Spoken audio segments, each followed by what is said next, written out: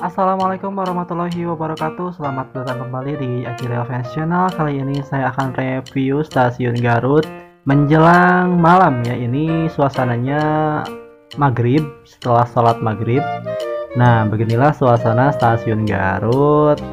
Sudah banyak penerangan di area peron stasiun Garut. Nah di sini saya ditinjau dari samping JPL 20 di tepatnya depan Langsiran Loji. Nah, di sini ada momen terang bulan, bulan purnama ya di stasiun Garut ini. Wah, mantap sekali. Nah, di bulan yang penuh kemenangan ya di bulan Syawal, Masya Allah, Subhanallah, bulannya sangat terang ya. Nah, kali ini Alhamdulillah saya berkesempatan kembali untuk mengupdatekan kondisi stasiun Garut.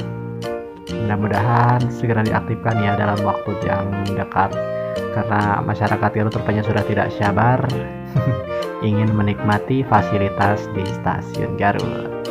Oke, untuk informasi selanjutnya tunggu saja update yang terbaru dan terpercaya hanya dari PT KAI. Nah, jangan mendengar kabar-kabar yang tidak benar ya atau hoax ya. Nah beginilah suasananya jikalau stasiun Garut menjelang malam hari.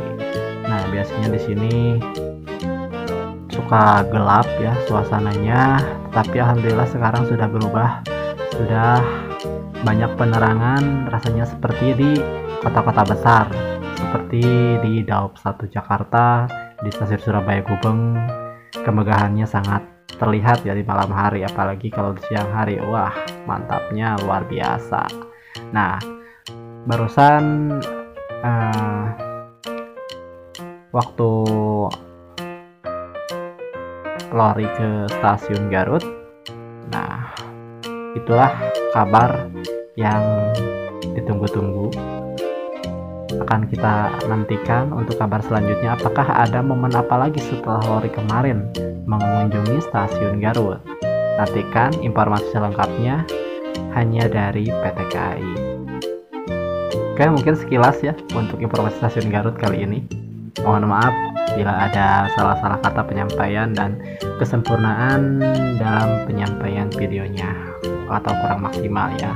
Jangan lupa bantu dukungan channel ini dengan cara like, share, komen, dan subscribe untuk mendapatkan notifikasi video terbaru dari Aji Real Fans Channel. Semoga kalian sukses selalu dan lancar selalu dalam segala urusannya. Salam Real Fans Indonesia.